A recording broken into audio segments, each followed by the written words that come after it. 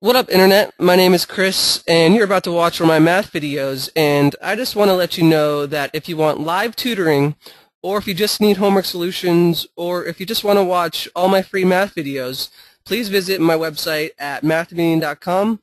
Once again, mathmeeting.com, and I would love to help you out. In the meantime, enjoy my video and take care. Welcome to my video. I'm going to teach you how to simplify polynomials using long division.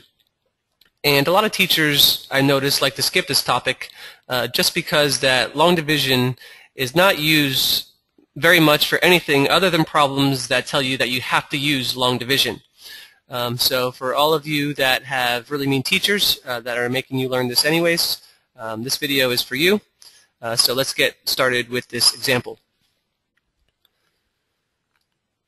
Notice how I rewrote for you the problem in long division form already. Uh, notice how the numerator uh, goes on the inside and the denominator always goes on the outside. And notice also that I also wrote the terms on the inside in descending order. Uh, notice how we have the highest exponent first, our x to the fourth term, and then notice how we have a x to the third term second, and also notice how there is there is no x to the third term in our numerator. And that's why I put a 0 in front of it, uh, because 0 multiplied by anything um, always equals 0. And it's really important uh, that you put every single term inside the division problem because it makes it a lot easier. So make sure you always remember uh, to do that. Um, then next we have our x squared term, our negative 33x squared. And then we have our x term, which is 0x. I put a 0 in front of it because there is no x term in our numerator.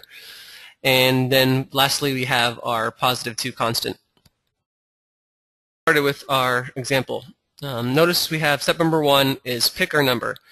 And we have to pick a number that if you multiply it by this x, it's going to give us 4x to the fourth. Uh, so x multiplied by what number is going to give us 4x to the fourth. So if you notice that x, if you multiply x by 4x cubed, that is going to give us 4x to the fourth. So that's how you pick our number is you have to pick which number multiplied by x is going to give us 4x to the fourth. So that's moving on to step number two is we have to distribute. So I'm going to distribute the 4x cubed with our x and with our positive 3. So 4x cubed multiplied by x is 4x to the fourth. And 4x cubed multiplied by positive 3 is positive 12x cubed. Moving on to step number 3, we need to switch our signs. Um, so notice how we have a positive 4x to the fourth. We want to switch that to a negative 4x to the fourth. And notice how we have a positive 12x cubed. I want to switch that and rewrite it as a negative 12x cubed. Moving on to step number four, we want to add and subtract our like terms. Our 4x to the fourth and negative 4x to the fourth cancel out. 0x cubed minus 12x cubed is negative 12x cubed. And we always bring down the next term, so I'm going to bring down my negative 33x squared. So moving on to our last step, which is repeat the same process all over again. So moving on to step number one, pick our number. Uh, so x multiplied by what is going to give us negative 12x cubed. So if you multiply x by negative 12x squared, that's going to give us negative 12x cubed. Moving on to step number two is distribute. So I'm going to distribute my negative 12x squared with x and our positive 3 negative 12x squared times x is negative 12x cubed. And negative 12x squared multiplied by positive 3 is negative 36x squared. Moving on to step number three, we want to switch signs. So we have a negative 12x cubed. I'm going to switch that to a positive 12x cubed. And we have a negative 36x squared. I'm going to switch that to a positive 36x squared. Step number four, add and subtract our like terms. Our 12x cubes cancel out. Negative 33x squared plus 36x squared is a positive 3x squared. And in long division, we always bring down our next term, which is 0x.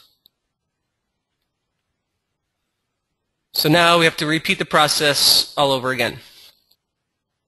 So going back to step number one, we have to pick our number. So x multiplied by what is going to give us 3x squared.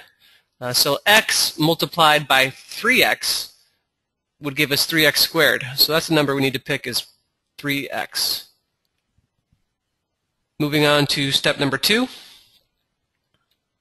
is distribute the 3x with the x plus 3.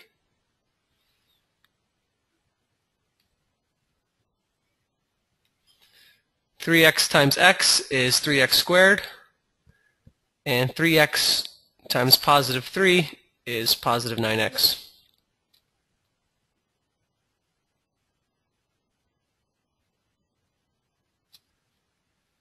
Moving on to step number three, we need to switch our signs. So we have a positive 3x squared. So we'll switch that to a negative 3x squared. And we have a positive 9x. So we'll switch that to a negative 9x. Step number four, add and subtract our like terms. Our 3x squareds cancel out. 0x minus 9x equals negative 9x. And finally, we want to bring down our next term, which is positive 2.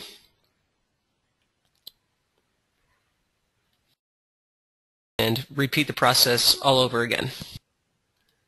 So step number one is pick our number. So x multiplied by what is going to give us negative 9x. Uh, so if you multiply x by negative 9, that will give you negative 9x.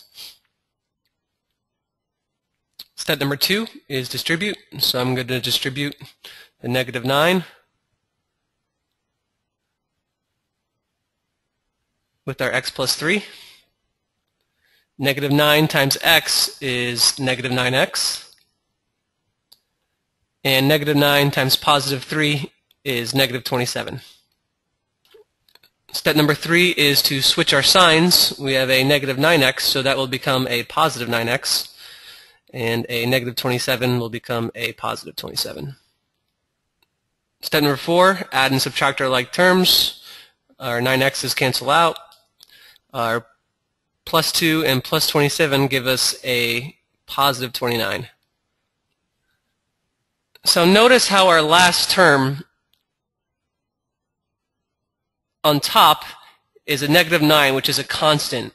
Uh, whenever your last term is a constant, that means that you don't need to do any more work and you're almost arrived at your final answer. Um, so now we just need to rewrite our final answer um, in proper form. Um, so the way that you would do that is just rewrite what's on top, which is 4x cubed minus 12x squared plus 3x minus 9. And you always write your remainder, which our remainder is 29. I'll highlight it. Our remainder is 29, and our divisor is x plus 3. So you always rewrite a fraction at the end with your remainder on top, 29,